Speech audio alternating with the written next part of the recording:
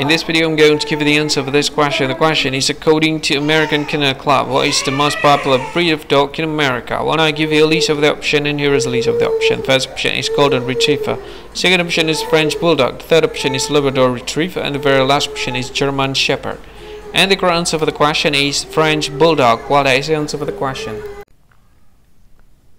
Hi, thank you so much for watching this video. If you find this video is very useful, you can help this channel to grow by subscribing this channel. Please this subscribe button and don't forget to like this video.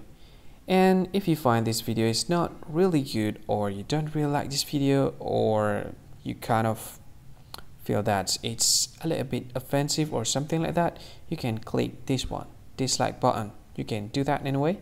And if you want to share this video with your friend you can share it by clicking this share button and you can share it to any any social media that you wish that is currently available at this time like Facebook, Twitter, LinkedIn and many others right?